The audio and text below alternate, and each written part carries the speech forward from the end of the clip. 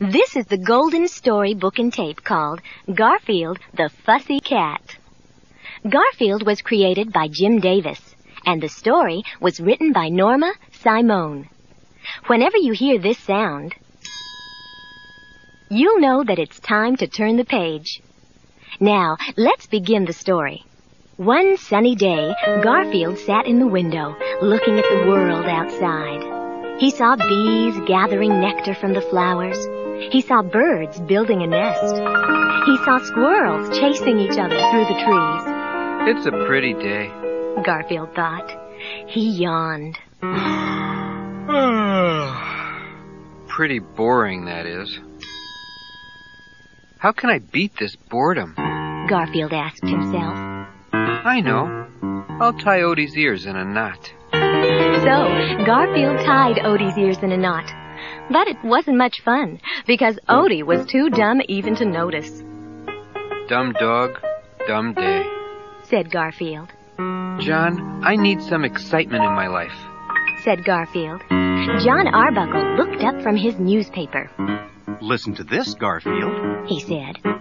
Fussy Cat brand cat food is looking for a cat to star in a TV commercial. They're holding auditions today. How terribly uninteresting, said Garfield. The cat they choose gets a year's supply of Fussy Cat brand cat food, said John. I'd rather have lasagna, said Garfield. Plus a year-long all-expense-paid trip around the world, said John. A trip around the world? That's the kind of excitement I need. Let's go, Garfield said, dragging John toward the door. Garfield and John went to the TV studio. We're here to audition for the Fussy Cat commercial. John told the secretary.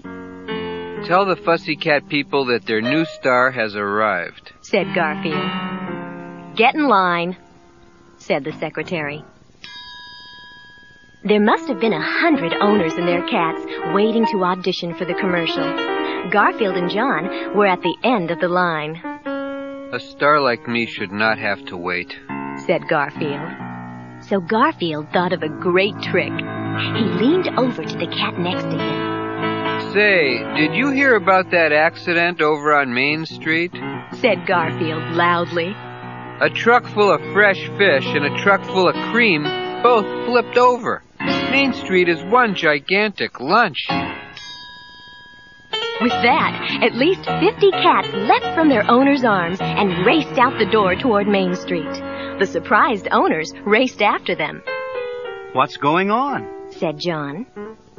Guess they were afraid to face the camera, said Garfield with a smile. An assistant director asked John some questions. Does your cat have any special talents? He asked. Just eating and sleeping, said John. Oh, and he does a great imitation of an orange beach ball. he added, laughing. Remind me to shred your favorite chair when we get home, Garfield said to John. Finally, there was just one more cat ahead of Garfield. Garfield watched him audition. In front of the camera was a bowl of Fussy Cat brand cat food. Beside the bowl was a big bag filled with more Fussy Cat brand cat food. The cat walked up to the bowl, smiled at the camera, and began to eat neat little mouthfuls. Garfield jumped from John's arms and raced onto the stage. This commercial isn't big enough for both of us, said Garfield, bumping the other cat aside. Garfield flashed the director a big smile. You want a cat who can eat? Garfield asked. I'll show you a cat who can eat. Garfield picked up the bowl of Fussy Cat brand cat food, flipped the food into his mouth, and swallowed it in one gulp. Amazing! said the director. But Garfield didn't stop there. He ripped open the big bag of Fussy Cat brand cat food and began pouring the food into his mouth. In an instant, he had finished the entire bag.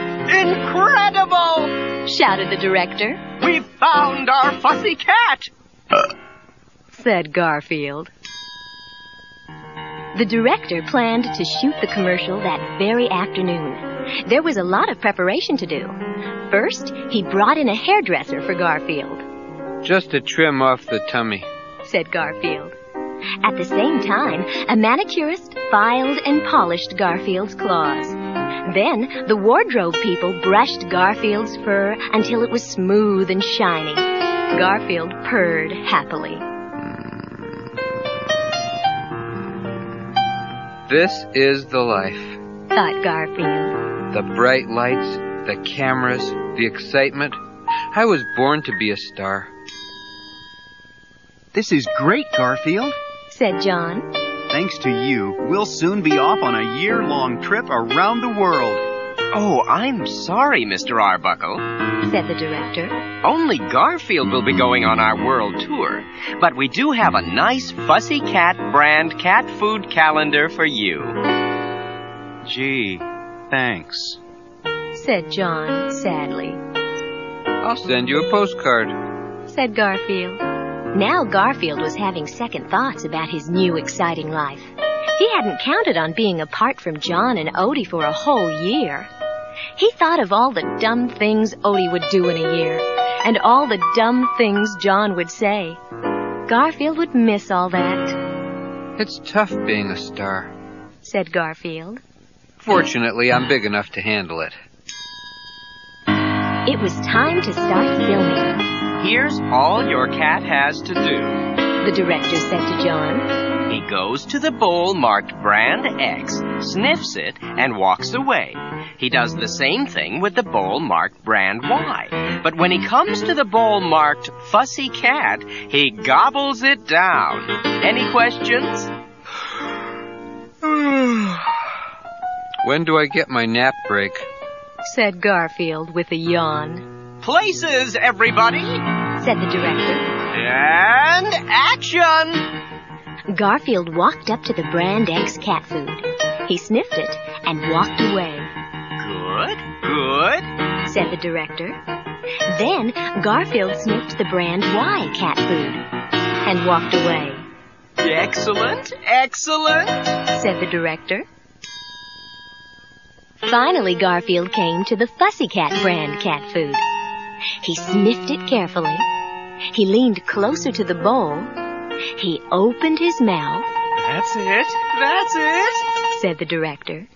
Suddenly, Garfield felt very full and very sleepy, I think I overdid my audition. he said. And with that, he fell fast asleep, face down in the food, Cut, cut! yelled the director. That night, John fixed Garfield a special lasagna dinner, You know, Garfield, said John. I'm glad you didn't make that commercial. Odie and I would have missed you. Said Odie in agreement, I guess the part wasn't right for me. said Garfield. But he didn't really mind not being the star of a commercial, After all, he said. I'll always be the biggest star in this house.